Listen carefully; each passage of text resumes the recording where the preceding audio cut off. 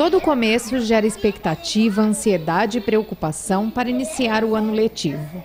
Fátima, que é coordenadora pedagógica, afirma que é muito gostoso esse retorno. Primeiro ano tem muitos alunos novos, né, que iniciaram agora com a gente, então eles estão animadíssimos. E do segundo ao quinto, por incrível que pareça, eles ainda chegam muito animados, né? Querendo usar o material novo, querendo conhecer a professora nova, querendo é, saber o lugar que vai sentar.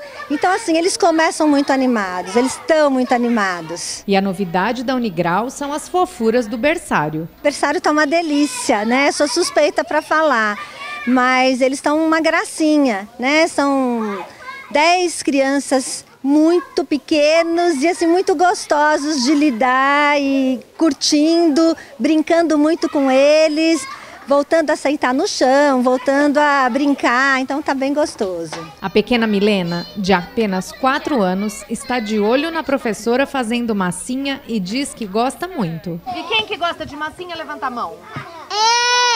Camila fica super feliz com o retorno às aulas. É muito gostoso, né? Eles ficaram de férias aí 30 dias e eles voltam muito eufóricos, ansiosos e nós fazemos uma recepção bem gostosa para eles. É uma semana bem divertida, com vários cantos diferentes, massinha, brincadeira, tudo que eles gostam mesmo para recebê-los bem para começar um ano. Gabriela, que já está habituada com a turma do quarto ano, comenta quais são as expectativas para esse ano. A gente vem muito restaurado e com um planejamento muito fortalecidos aqui no Colégio Unigral. Então, assim, os, os planos para 2020 é de muito trabalho, de muitas conquistas, de muita aprendizagem, tanto para os alunos quanto para a equipe docente, os funcionários. Luísa fala sobre o que mais gosta de estudar. Eu gosto de ciências. Eu gosto bastante de fazer os experimentos, as atividades que a gente faz, atividades ao ar livre. E Eduardo está muito animado com a volta às aulas. Eu acho que eu quero aprender muito,